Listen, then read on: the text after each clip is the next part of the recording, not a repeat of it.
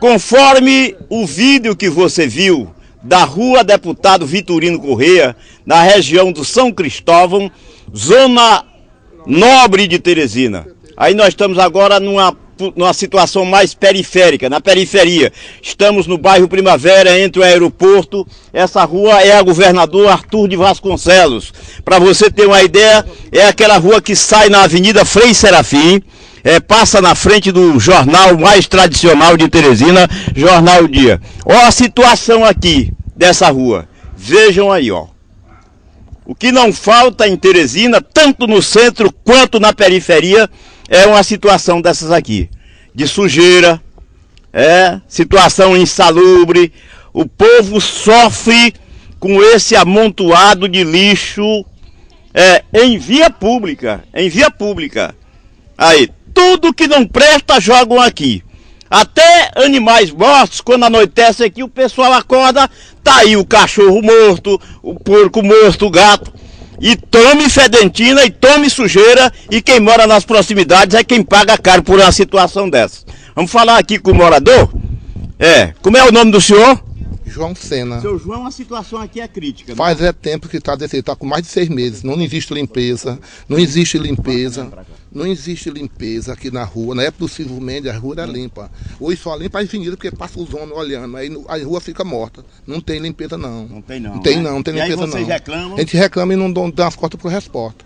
E fica por isso. E a gente tem que se chiar, porque as doenças estão aí. Como é que essa dengue acaba com água empoçada, o, o meu filho, entupido de capim?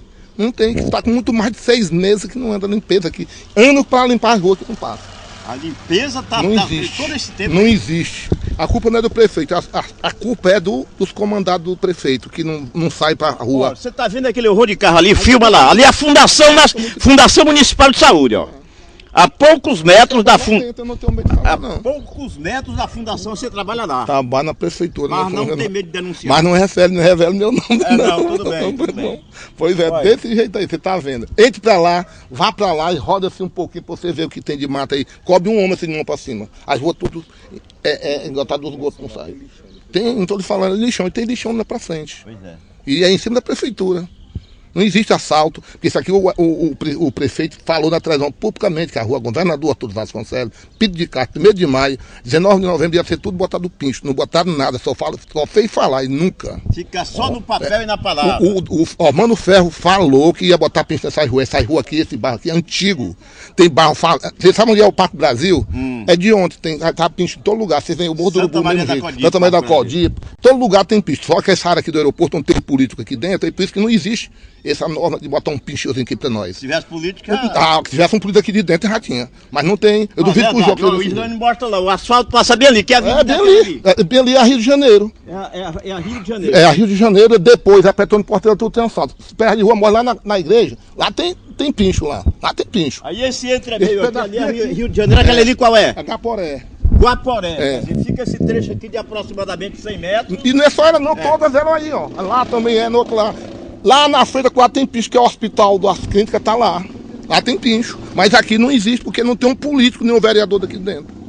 E o, governo, o prefeito falou que ia botar pincho nela todinha nessa rua aqui, mas até hoje. Já tá saindo, terminando o mandato dele e não vai ter ter feito nunca. Pois é, tá aí, terreno bem aqui de João Vicente. Bem, Pois é, tá aí a reclamação. Moradores realmente insatisfeitos com essa situação aqui de abandono total, muito lixo. E nós vamos encerrando por aqui, mostrando mais um descaso para que o poder público possa tomar então as providências. Com imagens de Irlande Farias, Luiz Borges para o TV Canal 3.com.